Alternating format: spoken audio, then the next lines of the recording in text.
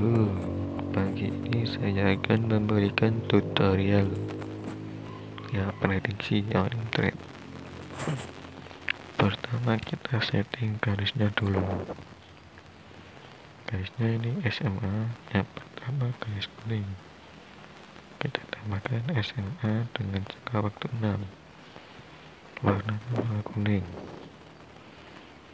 Terus yang satunya SMA kita kasih jangka waktu 12 kita atur garisnya ke grafik lilin. Waktunya satu menit. Oke kita mulai transaksi ya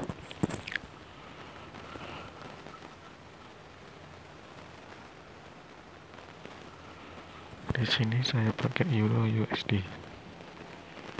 kita lihat yang kuning yang kuning ya kita lihat di menit 50 atau 45 ini saya akan menebak turun. Kita lihat di menit 45 dia naik dia naik. 45 oke kita turun.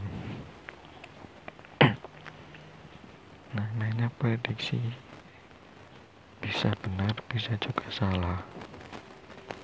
Kita tunggu masih banyak waktu oke turun bro ini akun demo ya. Makanya saya berani bertaruh banyak 2000 dolar.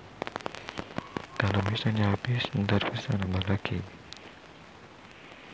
Oke bro 28 726 oke turun jauh bro.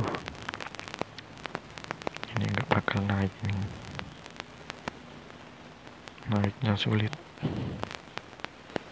oke oke 10 detik 8 7 6 5 4 3 2 1 oke profit bro ya begitulah.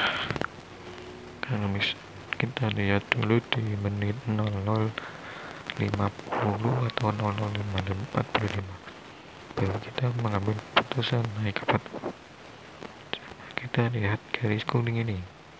Kalau ini turun kemungkinan turun. Nah ini turun.